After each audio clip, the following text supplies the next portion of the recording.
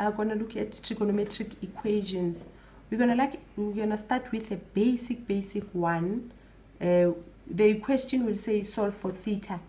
So you want to get uh, what how many degrees is theta? So what you do normally divide by cos both sides but we use a calculator to divide for us. So you're gonna go shift cos then you see it has a minus one there means we are dividing by cos. And then you go fraction 1 over 2 then you close your bracket. And then you find that your theta is 60 degrees. Then that's that. Let's look at the next example. Okay with the second one um, the catch with uh, the equations of trig you need to leave the trig ratio all by itself so when you look at here you're multiplying it by 2 then you're adding a 2 so you're going to take the, the, the, the plus 2 first. You're going to subtract by 2 subtract by 2 to both sides. So you have 2 sine theta is equals to 3 minus 2 is 1 so the next thing get rid of the 2 we divide by 2 both sides.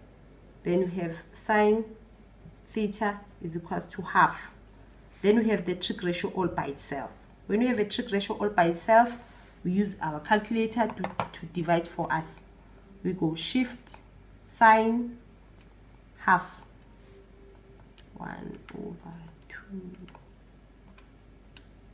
then it means our theta is equals to 30 degrees.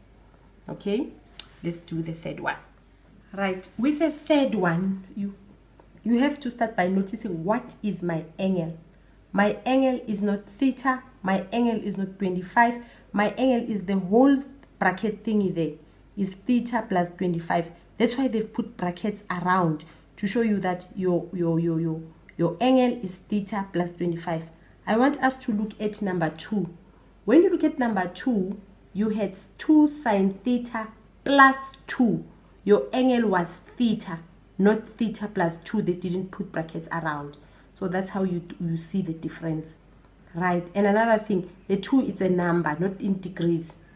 The 25 is in degrees and is an angle. So my angle is the whole thing here is theta plus 25 what why is that important? You do not you should not you must not fiddle with the angle. Leave the angle as it is and then solve and then solve the angle later.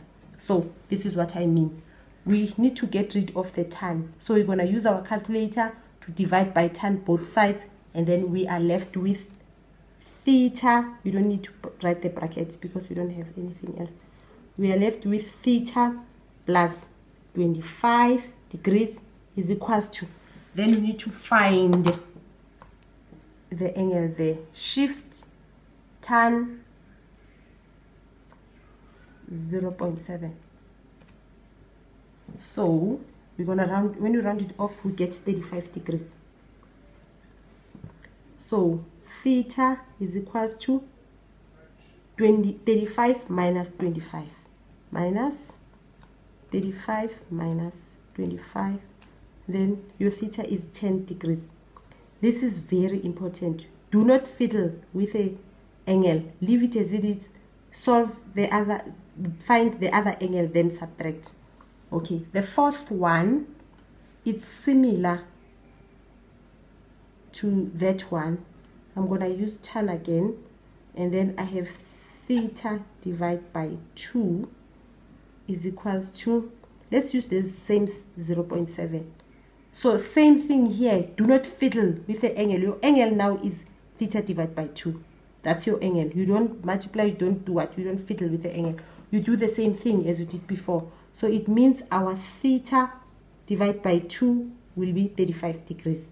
Then you get rid of the, of the 2. Then you multiply by 2 both sides. Then your theta will be 35 times 2 will be 70 degrees. Right? Let's look at the last one. The fifth one.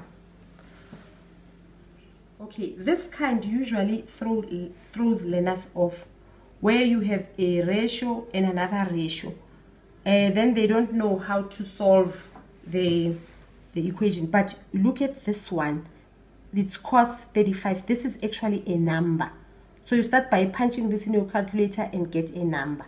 So you'll have sine theta is equals to then you take your calculator. Now what i want you to remember is that i am not looking for an angle. I have an angle with these questions that we're doing we're looking for an angle. That's why we're going shift tan then that number. We're dividing with tan looking for an angle. Here i have the angle. You punch it in your calculator as it is because you have the angle. You're not looking for an angle. So i'm gonna go cos 37 then you get a number. It's 0 comma 7986 in trigonometry when you are still in the process of doing it don't round it off because you're actually making your answers wrong. Then write as many decimals as you can. Then i have theta is equals to then i go. Shift sine 0 comma 7986 is equals to. So I have 53 degrees because I have 52,99 so it's 53 degrees. So I have 53 degrees. So don't be thrown off when you are given um, a, a, a ratio. Just put it in your calculator and get a number. Okay? This is how we do angles please practice grade 10s these things are not hard. Thank you for watching